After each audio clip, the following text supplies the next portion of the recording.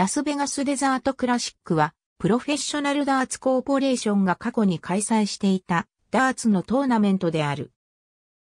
2002年よりアメリカ合衆国のラスベガスにおいて毎年7月の初頭あたりに開催されていた。ヨーロッパでの生放送の要請があったため、試合は朝に行われている。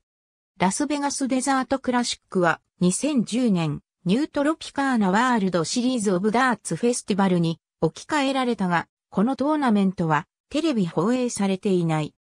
このトーナメントは獲得した賞金額に基づく PDC のワールドランキングシステムである PDC、オーダーオブメリットに反映されるスカイスポーツのプレミアイベントである。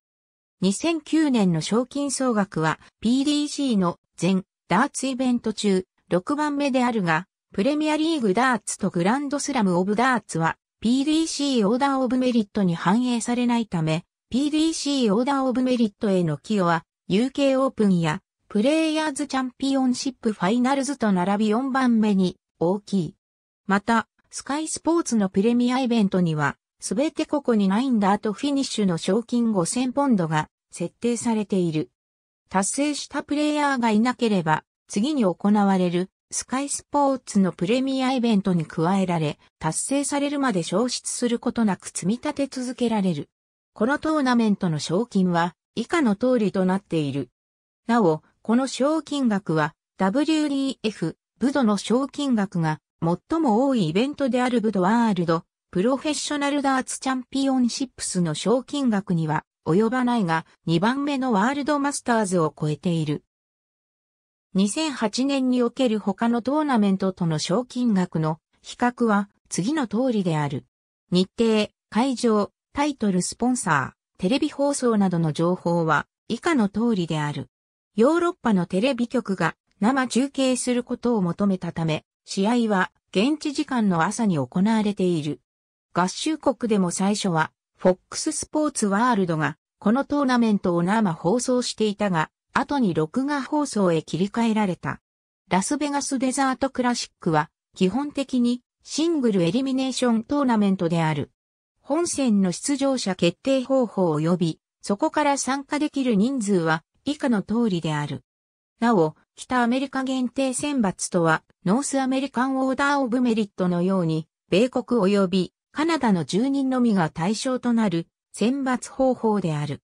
また、ウィメンズトーナメントがない2007年以降の予選に女子プレイヤーの名前が見られるが、本戦出場は果たしていない。2002年はラスト16、2004年以降はラスト32からのシングルエリミネーショントーナメントとなっていた。2003年は24名が3名ごとのグループに分かれてラウンドロビンのグループ戦を行い、その結果、1位のプレイヤーがラスト16のシングルエリミネーショントーナメントに進む形式であった。セットレッグ数各年の各ラウンドにおけるセット数及びレッグ数は以下の通りである。無印のものの形式はセットのついたものはレッグである。このトーナメントの結果は以下の通りである。総合、メンズウィメンズラスベガスデザートクラシックの本戦において、ナインダートフィニッシュは達成されなかったものの、出場者決定戦では2回達成されている。このイベントの歴代の記録は以下の通りである。なお、ウィメンズの記録は不明である。以下は本戦でなく予選であり、テレビ放送された試合ではない。180の記録は2006年以降のものに限定する。最多の大会平均値に関しては2003年から2005年までの第1ラウンドと第2ラウンドの結果が一部を除いて不明であり、それが反映されていない結果となっている。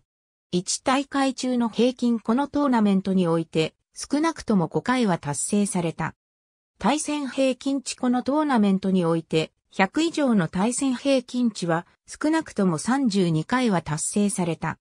両者ともこのトーナメントにおいて少なくとも2回は両者とも100以上の平均となった試合があった。ラスベガスデザートクラシックの後継イベントとしてニュートロピカーナワールドシリーズオブダーツフェスティバルが設置された。このトーナメントシリーズもラスベガスで開催され、US オープンもこの中に組み込まれることとなった。トロピカーナワールドシリーズは以下のトーナメントから構成されている。ありがとうございます。